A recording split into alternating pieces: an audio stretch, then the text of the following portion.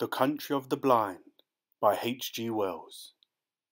Three hundred miles and more from Chimborazo, one hundred from the snows of Cotopaxi, in the wildest wastes of Ecuador's Andes, there lies that mysterious mountain valley, cut off from all the world of men, the country of the blind.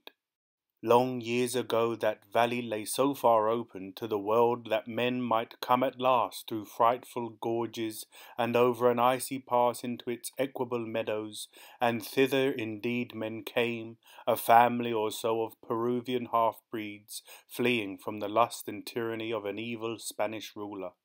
Then came the stupendous outbreak of Mindobamba, when it was night in Quito for seventeen days, and the water was boiling at Yaguachi, and all the fish floating, dying even as far as Guayaquil, everywhere along the Pacific slopes there were landslips and swift thawings and sudden floods, and one whole side of the old Arauca crest slipped and came down in thunder, and cut off the country of the blind for ever from the exploring feet of men. But one of these early settlers had chanced to be on the hither side of the gorges when the world had so terribly shaken itself, and he, perforce, had to forget his wife and his child and all the friends and possessions he had left up there, and start life over again in the lower world. He started it again but ill. Blindness overtook him, and he died of punishment in the mines. But the story he told begot a legend, that lingers along the length of the Cordilleras of the Andes to this day. He told of his reason for venturing back from that fastness into which he had first been carried lashed to a llama beside a vast bale of gear when he was a child. The valley, he said, had in it all that the heart of man could desire sweet water, pasture, an even climate, slopes of rich brown soil with tangles of a shrub that bore an excellent fruit and on one side great hanging forests of pine that held the avalanches high.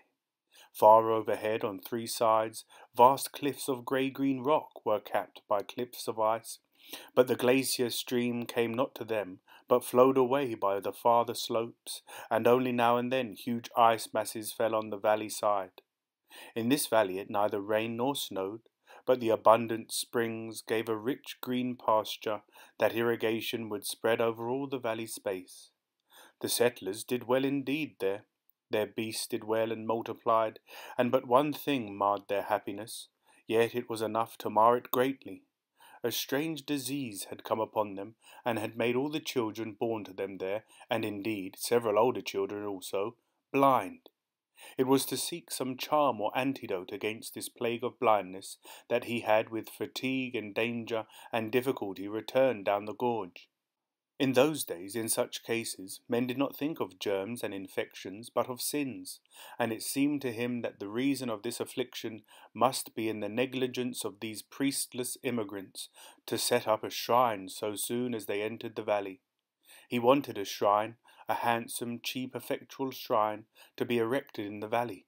He wanted relics and such like potent things of faith, blessed objects and mysterious medals and prayers. In his wallet he had a bar of native silver, for which he would not account.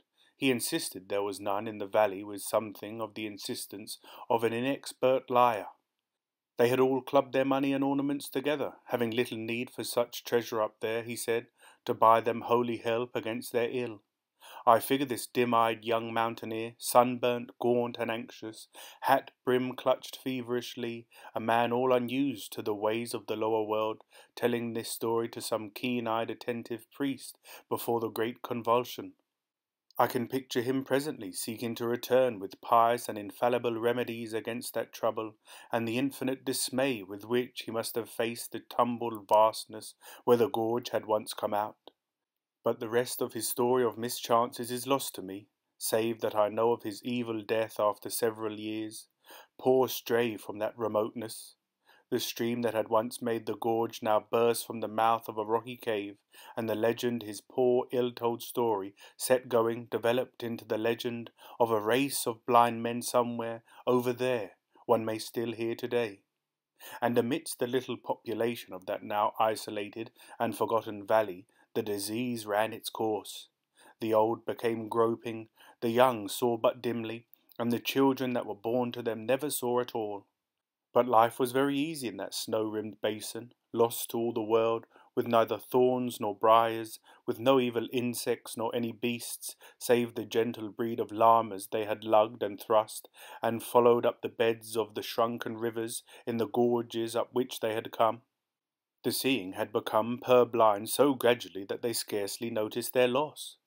They guided the sightless youngsters hither and thither until they knew the whole valley marvellously, and when at last sight died out among them, the race lived on. They had even time to adapt themselves to the blind control of fire, which they made carefully in stoves of stone. They were a simple strain of people at first, unlettered, only slightly touched with the Spanish civilization, but with something of a tradition of the arts of old Peru and of its lost philosophy. Generation followed generation. They forgot many things. They devised many things. Their tradition of the greater world they came from became mythical in colour and uncertain. In all things save sight they were strong and able, and presently chance sent one who had an original mind and who could talk and persuade among them, and then afterwards another. These two passed, leaving their effects, and the little community grew in numbers and in understanding, and met and settled social and economic problems that arose. Generation followed generation, Generation followed generation. There came a time when a child was born who was fifteen generations from that ancestor who went out of the valley with a bar of silver to seek God's aid, and who never returned. Thereabout it chanced that a man came into this community from the outer world, and this is the story of that man. He was a mountaineer from the country near Quito, a man who had been down to the sea and had seen the world, a reader of books in an original way, an acute and enterprising man, and he was taken on by a party of Englishmen who had come out to Ecuador to climb mountains to replace one of their three Swiss guides who had fallen ill. He climbed here and he climbed there, and then came the attempt on Parascotopetl, the Matterhorn of the Andes, in which he was lost to the outer world. The story of that accident has been written a dozen times. Pointer's narrative is the best. He tells how the little party worked their difficult and almost vertical way up to the very foot of the last and greatest precipice, and how they built a night shelter amidst the snow upon a little shelf of rock, and, with a touch of real dramatic power, how presently they found Nunez had gone from them. They shouted, and there was no reply, shouted and whistled, and for the rest of that night they slept no more. As the morning broke, they saw the traces of his fall, it seems impossible he could have uttered a sound. He had slipped eastward towards the unknown side of the mountain. Far below he had struck a steep slope of snow and ploughed his way down it in the midst of a snow avalanche. His track went straight to the edge of a frightful precipice, and beyond that everything was hidden. Far, far below, and hazy with distance, they could see trees rising out of a narrow shut-in valley, the lost country of the blind but they did not know it was the lost country of the blind, nor distinguish it in any way from any other narrow streak of upland valley. Unnerved by this disaster, they abandoned their attempt in the afternoon, and Pointer was called away to the war before he could make another attack. To this day, Parascotopetl lifts an unconquered crest, and Pointer's shelter crumbles unvisited amidst the snows. And the man who fell survived. At the end of the slope he fell a thousand feet, and came down in the midst of a cloud of snow upon a snow slope even steeper than the one above. Down this he was whirled, stunned and insensible, but without a bone broken in his body, and then at last came to gentler slopes, and at last rolled out and lay still, buried amidst the softening heap of the white masses that had accompanied and saved him. He came to himself with a dim fancy that he was ill in bed, then realized his position with the mountaineer's intelligence, and worked himself loose and, after a rest or so, out until he saw the stars. He rested flat upon his chest for a space, wondering where he was and what had happened to him.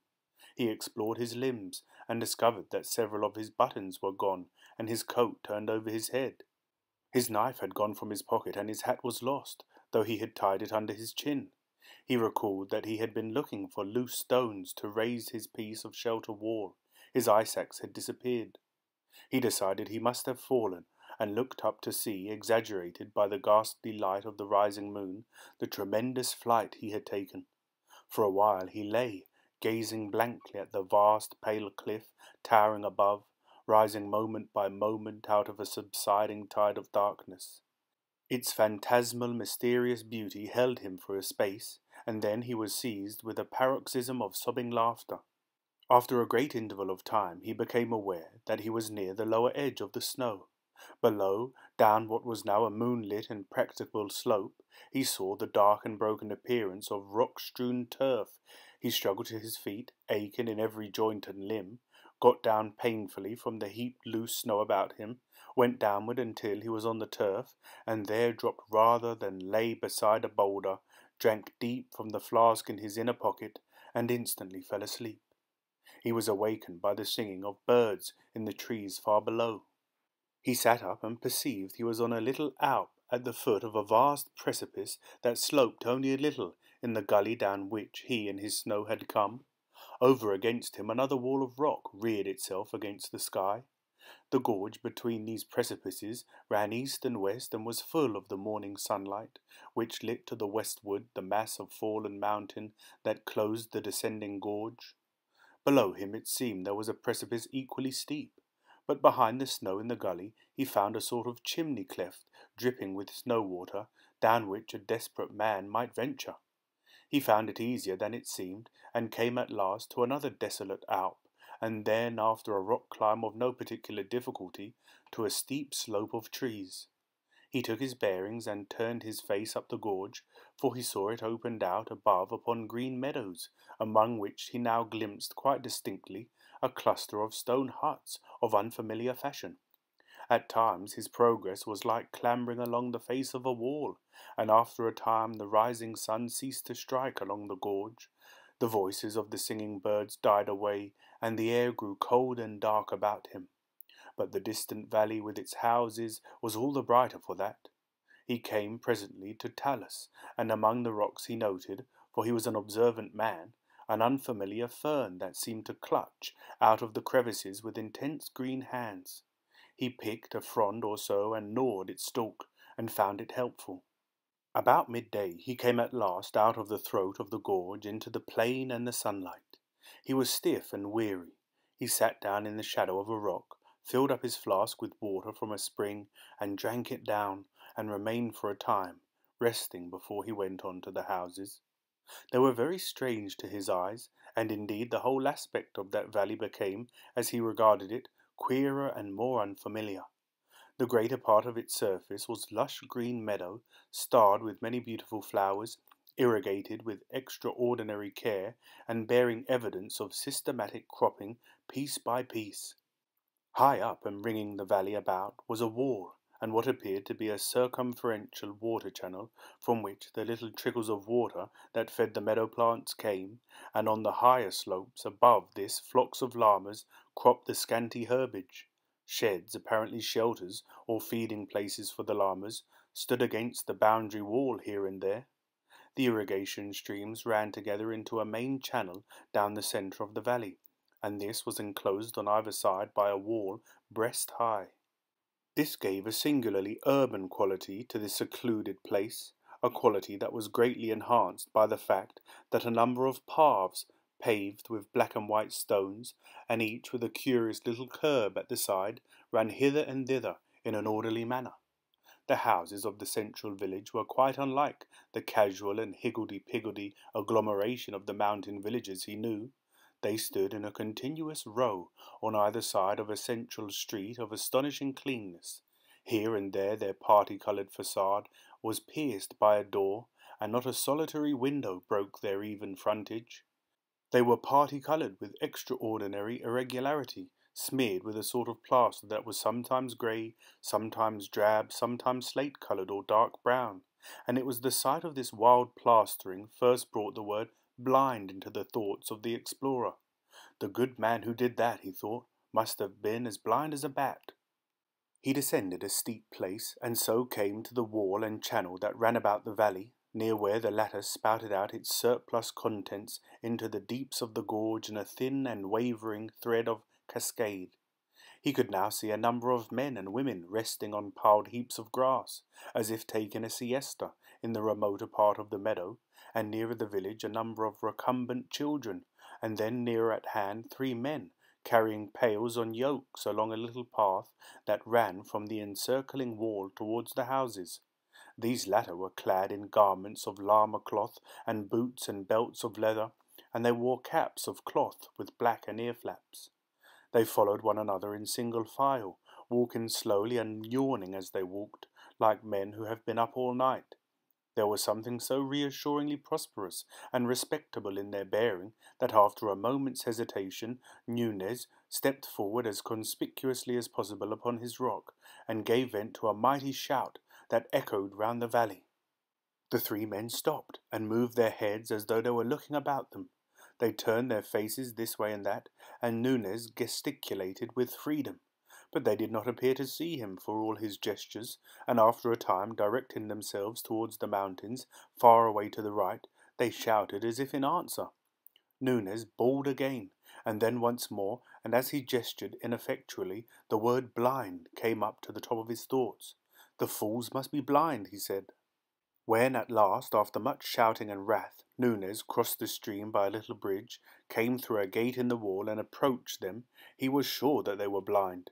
He was sure that this was the country of the blind, of which the legends told. Conviction had sprung upon him, and a sense of great and rather enviable adventure. The three stood side by side, not looking at him, but with their ears directed towards him, judging him by his unfamiliar steps. They stood close together, like men a little afraid, and he could see their eyelids closed and sunken, as though the very balls beneath had shrunk away. There was an expression near awe on their faces. A man, one said in hardly recognizable Spanish. A man it is, a man or a spirit coming down from the rocks. But Nunez advanced with the confident steps of a youth who enters upon life. All the old stories of the lost valley and the country of the blind had come back to his mind, and through his thoughts ran this old proverb as if it were a refrain. In the country of the blind, the one eyed man is king. In the country of the blind, the one eyed man is king. And very civilly he gave them greeting. He talked to them and used his eyes. Where does he come from, brother Pedro? asked one. Down out of the rocks. Over the mountains I come, said Nunez, out of the country beyond there, where men can see, from near Bogota, where there are a hundred thousand of people, and where the city passes out of sight. Sight? muttered Pedro, sight? He comes, said the second blind man, out of the rocks. The cloth of their coats, Nunez saw, was curious fashioned, each with a different sort of stitching. They startled him by a simultaneous movement towards him, each with a hand outstretched. He stepped back from the advance of these spread fingers. Come hither, said the third blind man, following his motion and clutching him neatly. And they held Nunez and felt him over, saying no word further until they had done so. Carefully, he cried with a finger in his eye, and found they thought that organ with its fluttering lids a queer thing in him. They went over it again. A strange creature, Correa, said the one called Pedro.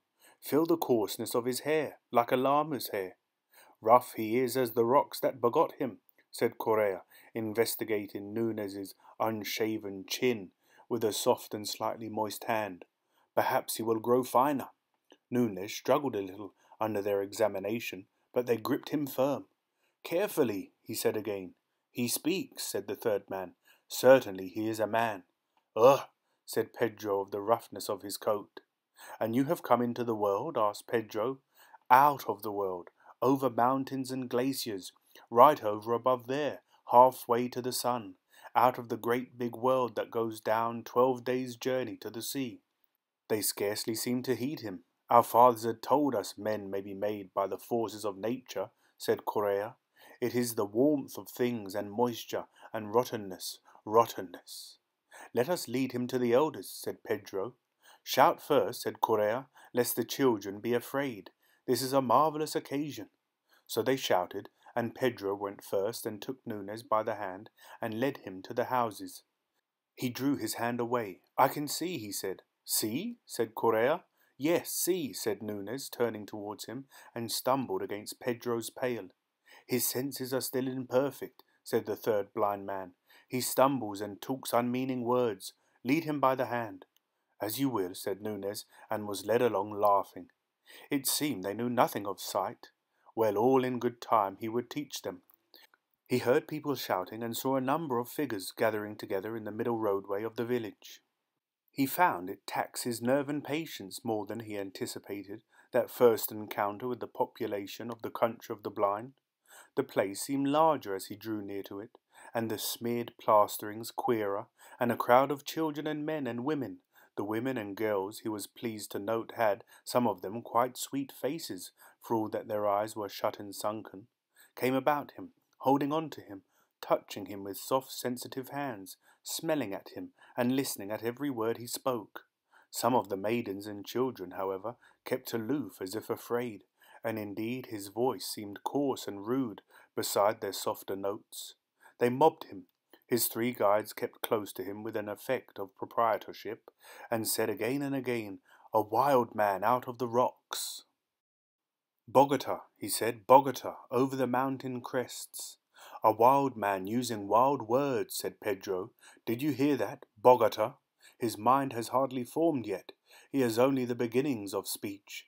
A little boy nipped his hand. Bogota, he said mockingly. I, a city to your village. I come from the great world, where men have eyes and see.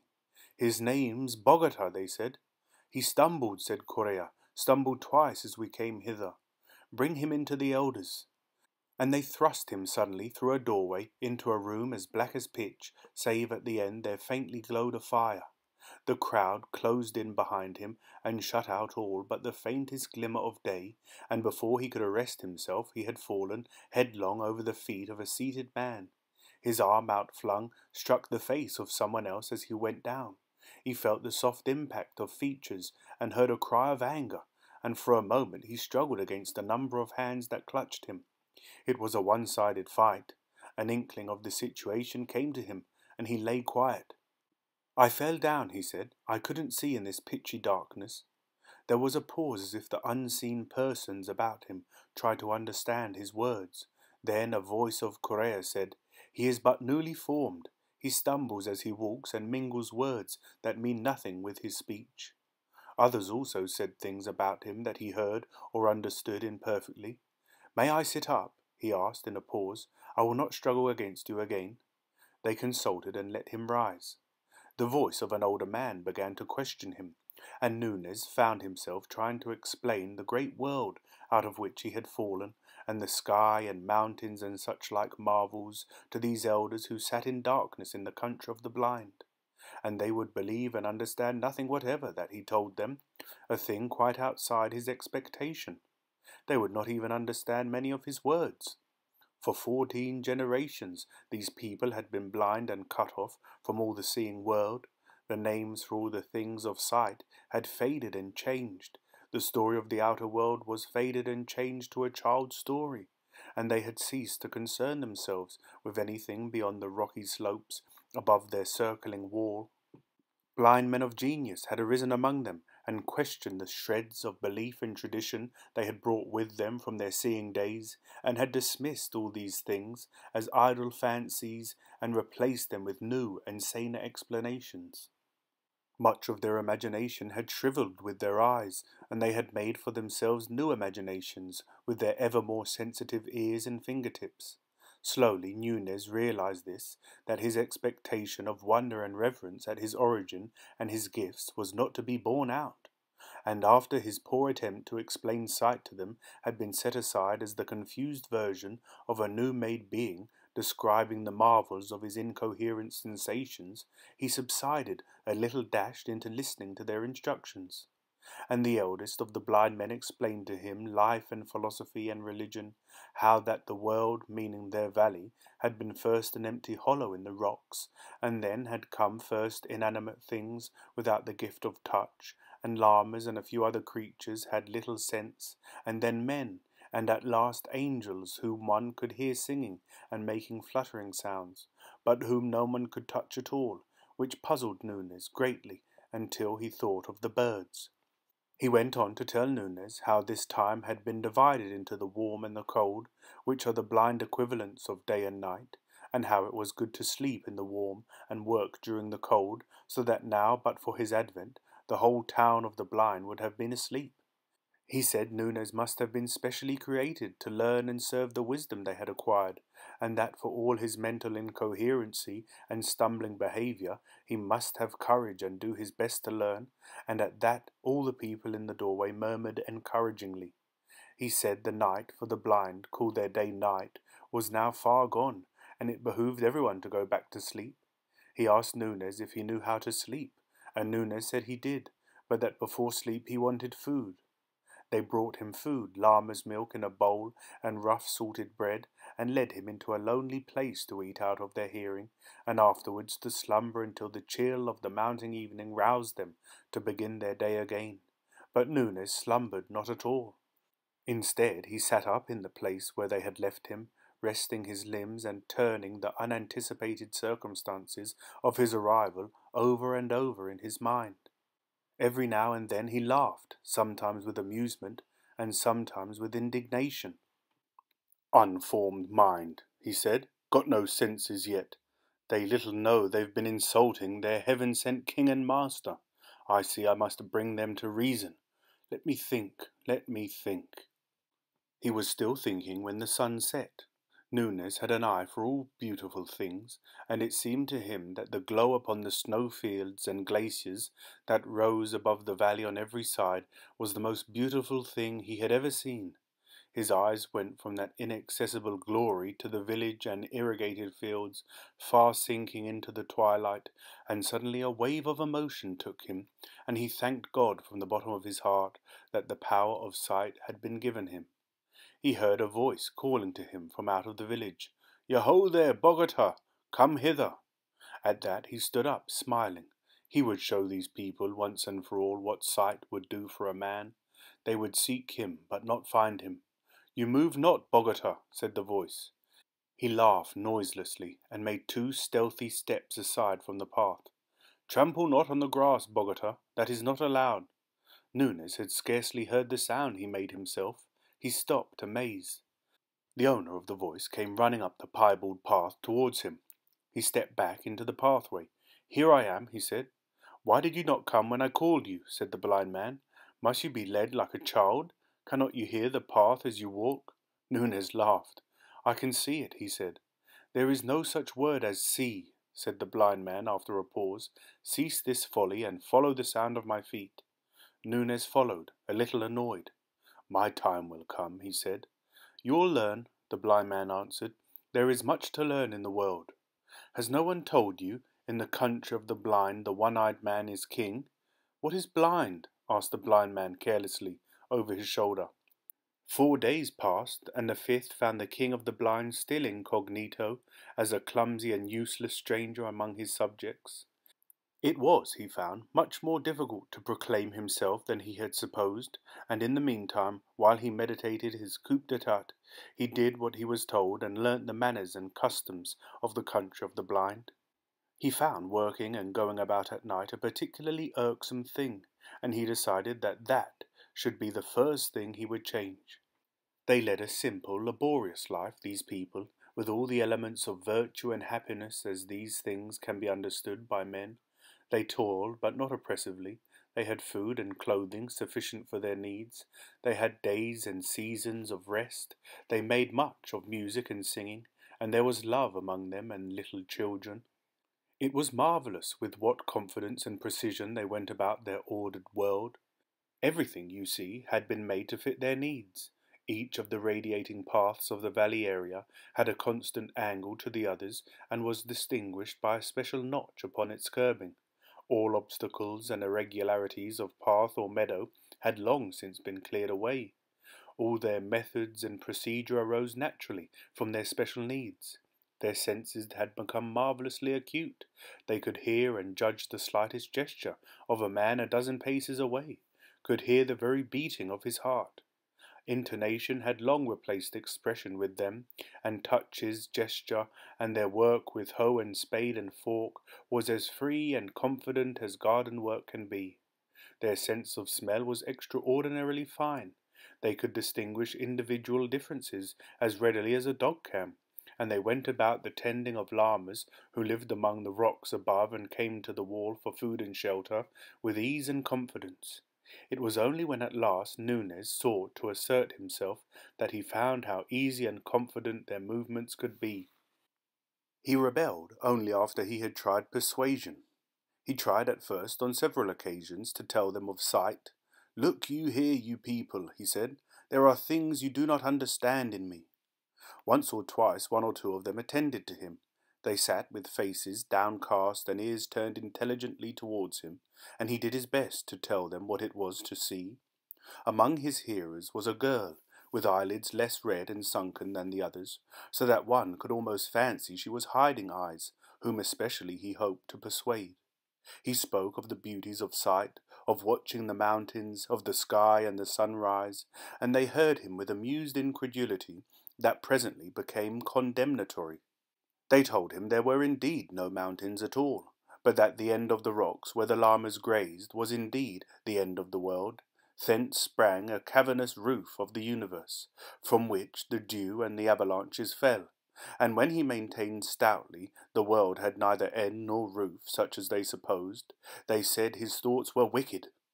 So far as he could describe sky and clouds and stars to them, it seemed to them a hideous void, a terrible blankness in the place of the smooth roof to things in which they believed. It was an article of faith with them that the cavern roof was exquisitely smooth to the touch. He saw that in some manner he shocked them, and gave up that aspect of the matter altogether, and tried to show them the practical value of sight. One morning he saw Pedro in the path called Seventeen, and coming towards the central houses, but still too far off for hearing or scent, and he told them as much. In a little while, he prophesied, Pedro will be here. An old man remarked that Pedro had no business on path seventeen, and then, as if in confirmation, that individual, as he drew near, turned and went transversely into path ten, and so back with nimble paces towards the outer wall. They mocked Nunez when Pedro did not arrive, and afterwards, when he asked Pedro questions to clear his character, Pedro denied and outfaced him, and was afterwards hostile to him. Then he induced them to let him go a long way up the sloping meadows towards the wall with one complacent individual, and to him he promised to describe all that happened among the houses. He noted certain goings and comings, but the things that really seemed to signify to these people happened inside of or behind the windowless houses, the only things they took note of to test him by, and of those he could see or tell nothing. And it was after the failure of this attempt and the ridicule they could not repress that he resorted to force. He thought of seizing a spade and suddenly smiting one or two of them to earth, and so in fair combat showing the advantage of eyes. He went so far with that resolution as to seize his spade, and then he discovered a new thing about himself, and that was that it was impossible for him to hit a blind man in cold blood. He hesitated and found them all aware that he had snatched up the spade. They stood all alert, with their heads on one side, and bent ears towards him for what he would do next. Put that spade down, said one, and he felt a sort of helpless horror. He came near obedience. Then he had thrust one backwards against a house wall and fled past him and out of the village. He went athwart one of their meadows, leaving a track of trampled grass behind his feet, and presently sat down by the side of one of their ways. He felt something of the buoyancy that comes to all men in the beginning of a fight, but more perplexity. He began to realize that you cannot even fight happily with creatures who stand upon a different mental basis to yourself. Far away he saw a number of men carrying spades and sticks, some out of the street of houses and advance in a spreading line along the several paths towards him. They advanced slowly, speaking frequently to one another, and ever and again the whole cordon would halt and sniff the air and listen. The first time they did this, Nunez laughed, but afterwards he did not laugh. One struck his trail in the meadow grass and came stooping and feeling his way along it. For five minutes he watched the slow extension of the cordon, and then his vague disposition to do something forthwith became frantic. He stood up, went a pace or so towards the circumferential wall, turned, and went back a little way. There they all stood in a crescent, still and listening. He also stood still, gripping his spade very tightly in both hands. Should he charge them? The pulse in his ears ran into the rhythm of, In the country of the blind, the one eyed man is king. Should he charge them? He looked back at the high and unclimbable wall behind, unclimbable because of its smooth plastering, but withal pierced with many little doors, and at the approaching line of seekers. Behind these others were now coming out of the streets of houses. Should he charge them? Bogota, called one. Bogota, where are you? He gripped his spade still tighter and advanced down the meadows towards the place of habitations, and directly he moved, they converged upon him. I'll hit them if they touch me, he swore. By heaven, I will. I'll hit, he called aloud. Look here, I'm going to do what I like in this valley. Do you hear? I'm going to do what I like and go where I like. They were moving in upon him quickly, groping, yet moving rapidly. It was like playing blind man's buff, with everyone blindfolded except one. Get hold of him, cried one. He found himself in the arc of a loose curve of pursuers. He felt suddenly he must be active and resolute. You don't understand, he cried in a voice that was meant to be great and resolute, and which broke. You are blind, and I can see. Leave me alone. Bogota, put down that spade and come off the grass. The last order, grotesque in its urban familiarity, produced a gust of anger. I'll hurt you, he said, sobbing with emotion. By heaven, I'll hurt you. Leave me alone. He began to run, not knowing clearly where to run. He ran from the nearest blind man because it was a horror to hit him. He stopped and then made a dash to escape from their closing ranks. He made for where a gap was wide, and the men on either side, with a quick perception of the approach of his paces, rushed in on one another. He sprang forward, and then saw he must be caught, and swish! The spade had struck. He felt the soft thud of a hand and arm, and the man was down with a yell of pain, and he was through. Through! And then he was close to the street of houses again, and blind men, whirling spades and stakes, were running with a reasoned swiftness hither and thither. He heard steps behind him just in time, and found a tall man rushing forward and swiping at the sound of him. He lost his nerve, hurled his spade a yard wide of this antagonist, and whirled about and fled, fairly yelling as he dodged another. He was panic stricken. He ran furiously to and fro, dodging when there was no need to dodge, and in his anxiety to see on every side of him at once, stumbling. For a moment he was down, and they heard his fall. Far away in the circumferential wall, a little doorway looked like heaven, and he set off in a wild rush for it. He did not even look around at his pursuers until it was gained, and he had stumbled across the bridge, clambered a little way among the rocks, to the surprise and dismay of a young llama, who went leaping out of sight, and lay down sobbing for breath. And so his coup d'etat came to an end. He stayed outside the wall of the Valley of the Blind for two nights and days without food or shelter, and meditated upon the unexpected. During these meditations he repeated very frequently, and always with a profounder note of derision, the exploded proverb, In the country of the blind the one-eyed man is king. He thought chiefly of ways of fighting and conquering these people, and it grew clear that for him no practicable way was possible. He had no weapons, and now it would be hard to get one. The canker of civilization had got to him even in Bogota and he could not find it in himself to go down and assassinate a blind man. Of course, if he did that, he might then dictate terms on the threat of assassinating them all, but sooner or later he must sleep. He tried also to find food among the pine trees, to be comfortable under pine boughs while the frost fell at night, and, with less confidence, to catch a llama by artifice in order to try to kill it, perhaps by hammering it with a stone, and so finally, perhaps, to eat some of it. But the llamas had a doubt of him, and regarded him with distrustful brown eyes, and spat when he drew near. Fear came on him the second day, and fits of shivering. Finally he crawled down to the wall of the country of the blind, and tried to make his terms. He crawled along by the stream, shouting, until two blind men came out of the gate and talked to him. I was mad, he said, but I was only newly made. They said that was better. He told them he was wiser now, and repented of all he had done. Then he wept without intention, for he was very weak and ill now, and they took that as a favourable sign. They asked him if he still thought he could see. No, he said, that was folly. The word means nothing, less than nothing. They asked him what was overhead. About ten times ten the height of a man, there is a roof above the world, of rock and very, very smooth. So smooth, so beautifully smooth. He burst again into hysterical tears.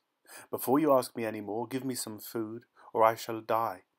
He expected dire punishments, but these blind people were capable of toleration. They regarded his rebellion as but one more proof of his general idiocy and inferiority, and after they had whipped him, they appointed him to do the simplest and heaviest work they had for anyone to do, and he, seeing no other way of living, did submissively what he was told. He was ill for some ten days, and they nursed him kindly. That refined his submission but they insisted on his lying in the dark, and that was a great misery. And blind philosophers came and talked to him of the wicked levity of his mind, and reproved him so impressively for his doubts about the lid of rock that covered their cosmic casserole, that he almost doubted whether indeed he was not the victim of hallucination in not seeing it overhead. So Nunez became a citizen of the country of the blind, and these people cease to be a generalized people and become individualities to him and familiar to him, while the world beyond the mountains became more and more remote and unreal. There was Jacob, his master, a kindly man when not annoyed. There was Pedro, Jacob's nephew, and there was Medina Sarote, who was the youngest daughter of Jacob. She was little esteemed in the world of the blind because she had a clear-cut face and lacked that satisfying glossy smoothness that is the blind man's ideal of feminine beauty. But Nunez thought her beautiful at first, and presently the most beautiful thing in the whole creation. Her closed eyelids were not sunken and red after the common way of the valley, but lay as though they might open again at any moment, and she had long eyelashes, which were considered a grave disfigurement. And her voice was weak and did not satisfy the acute hearing of the valley swains, so that she had no lover. There came a time when Nunez thought that, could he win her, he would be resigned to live in the valley for all the rest of his days. He watched her, he sought opportunities of doing her little services, and presently he found that she observed him. Once at a rest day gathering, they sat side by side in the dim starlight, and the music was sweet. His hand came upon hers, and he dared to clasp it. Then, very tenderly, she returned his pressure. And one day, as they were at a meal in the darkness, he felt her hand very softly seeking him, and as it chanced, the fire leapt then, and he saw the tenderness of her face. He sought to speak to her. He went to her one day when she was sitting in the summer moonlight spinning. The light made her a thing of silver and mystery. He sat down at her feet and told her he loved her, and told her how beautiful she seemed to him. He had a lover's voice. He spoke with a tender reverence that came near to awe and she had never before been touched by adoration. She made him no definitive answer, but it was clear his words pleased her. After that he talked to her whenever he could take an opportunity. The valley became the world for him, and the world beyond the mountains where men lived by day seemed no more than a fairy tale he would some day pour into her ears. Very tentatively and timidly he spoke to her of sight. Sight seemed to her the most poetical of fancies, and she listened to his description of the stars and the mountains and her own sweet white-lit beauty as though it was a guilty indulgence. She did not believe, she could only half understand, but she was mysteriously delighted, and it seemed to him that she completely understood. His love lost its awe and took courage. Presently he was for demanding her of Jacob and the elders in marriage, but she became fearful and delayed and it was one of her elder sisters who first told Jacob that Medina Sarote and Nunez were in love. There was from the first very great opposition to the marriage of Nunez and Medina Sarote, not so much because they valued her as because they held him as being a part, an idiot, incompetent thing below the permissible level of a man. Her sisters opposed it bitterly as bringing discredit on them all, and old Jacob, though he had formed a sort of liking for his clumsy, obedient serf, shook his head and said the thing could not be. The young men were all angry at the idea of corrupting the race, and one went so far as to revile and strike Nunez. He struck back. Then, for the first time, he found an advantage in seeing. Even by twilight, and after that fight was over, no one was disposed to raise the hand against him, but they still found his marriage impossible. Old Jacob had a tenderness for his last little daughter, and was grieved to have her weep upon his shoulder. You see, my dear, he's an idiot. He has delusions. He can't do anything right. I know, wept Medina Sarote, but he's better than he was. He's getting better, and he's strong, dear father, and kind, stronger and kinder than any other man in the world, and he loves me, and, father, I love him. Old Jacob was greatly distressed to find her inconsolable, and besides, what made it more distressing, he liked Nunez for many things. So he went and sat in the windowless council chamber with the elders and watched the trend of the talk, and said at the proper time, He's better than he was. Very likely, some day we shall find him as sane as ourselves. Then, afterwards, one of the elders, who thought deeply, had an idea. He was a great doctor among these people, their medicine man, and he had a very philosophical and inventive mind, and the idea of curing Nunez of his peculiarities appealed to him. One day, when Jacob was present, he returned to the topic of Nunez. I have examined Nunez, he said, and the case is clearer to me. I think very probably he might be cured. This is what I have always hoped, said old Jacob. His brain is affected, said the blind doctor. The elders murmured assent. Now, what affects it? Ah, said old Jacob. This, said the doctor, answering his own question. Those queer things that are called the eyes, and which exist to make an agreeable depression in the face are diseased, in the case of Nunez, in such a way as to affect his brain. They are greatly distended, he has eyelashes and his eyelids move, and consequently his brain is in a state of constant irritation and distraction. Yes, said old Jacob, yes. And I think I may say with reasonable certainty that, in order to cure him complete, all that we need to do is a simple and easy surgical operation, namely, to remove these irritant bodies.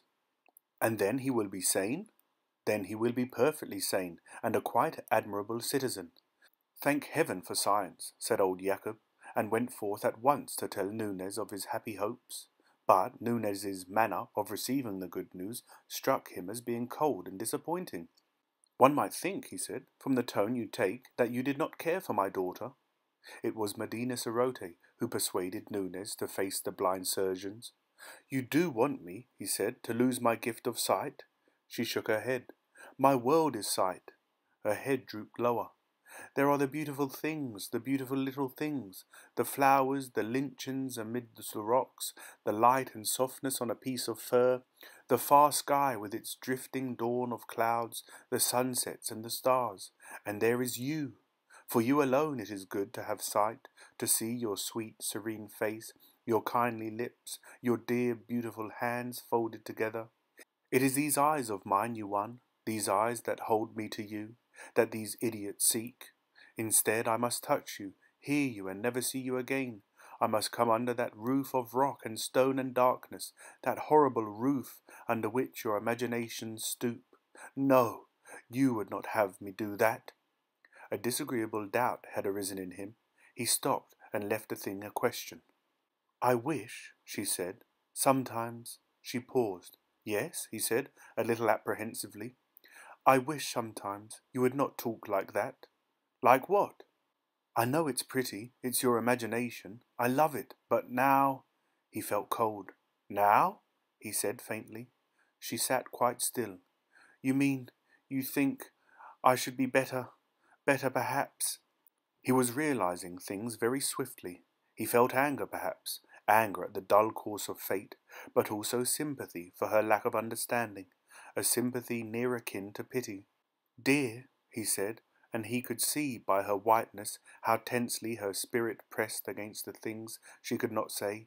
He put his arms about her, he kissed her ear, and they sat for a time in silence. If I were to consent to this, he said at last, in a voice that was very gentle.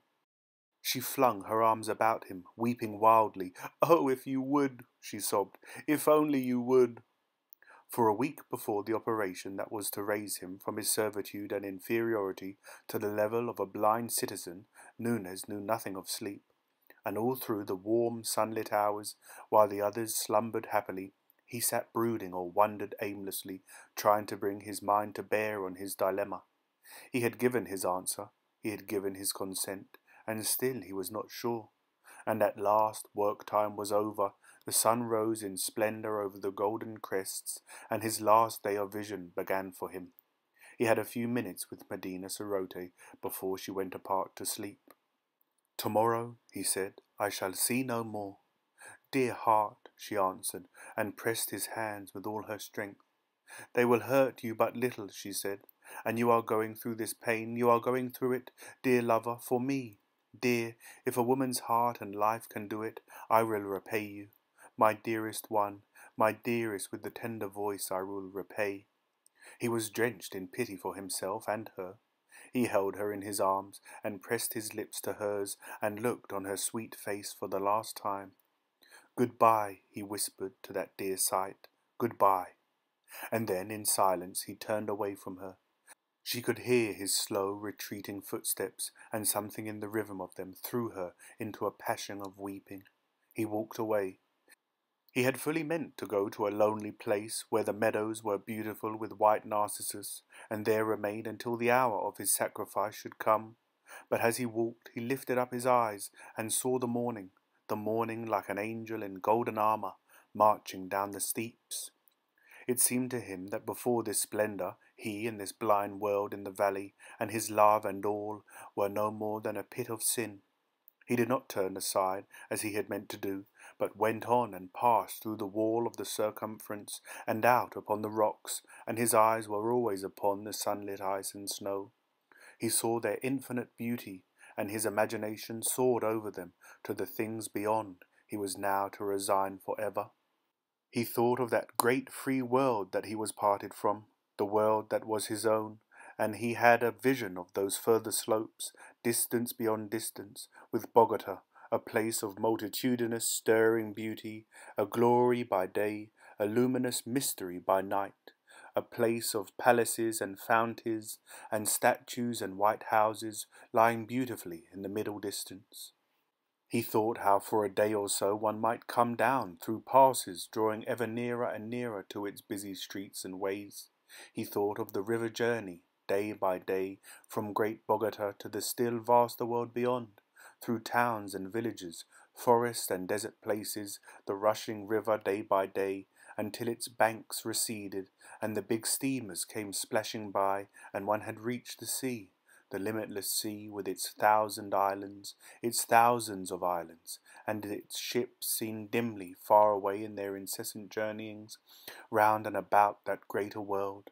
And there, unpent by mountains, one saw the sky, the sky not such a disk as one saw it there, but an arch of immeasurable blue, a deep of deeps in which the circling stars were floating. His eyes began to scrutinize the great curtain of the mountains with a keener inquiry.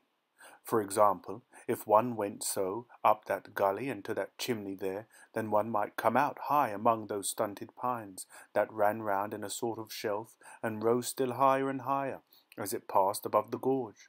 And then? That talus might be managed.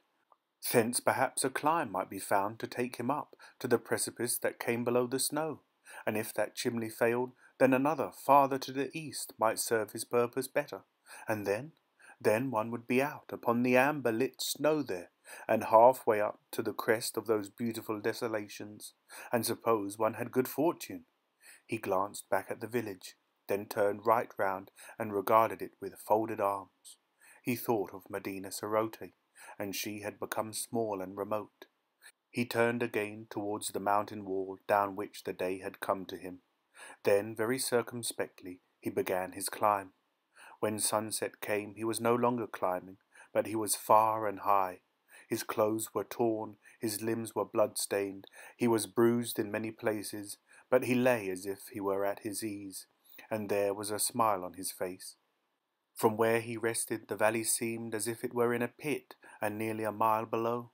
Already it was dim with haze and shadow, though the mountain summits around him were things of light and fire.